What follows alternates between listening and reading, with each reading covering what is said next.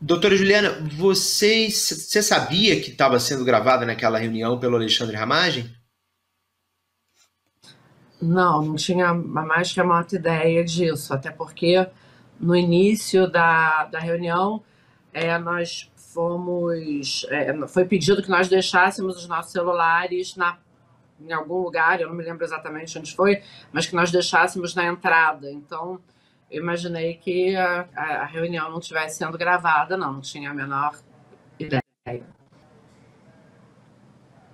E de quem partiu a orientação sobre vocês deixarem o celular na, na, na, antes de entrar na sala com, com o Bolsonaro? Guilherme, eu não me lembro. Eu realmente não me lembro. Eu não, não tenho como dar essa resposta porque eu não, não faço ideia. Não, não, a verdade é que eu não me lembrava sequer que a gente. É, é, não me lembrava desse momento em que a gente deixa a, a, o celular em algum lugar. Então eu, eu não tenho como dar essa resposta também.